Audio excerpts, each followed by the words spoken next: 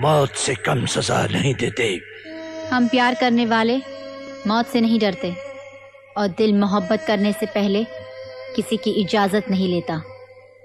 क्योंकि मोहब्बत का जज्बा अल्लाह ने पैदा किया है, किसी इंसान ने नहीं।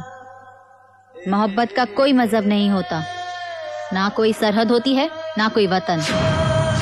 हम जानते हैं हम आपके नज़रों में गुनागार हैं, लेकिन यही गुनाह हमारे लिए इबादत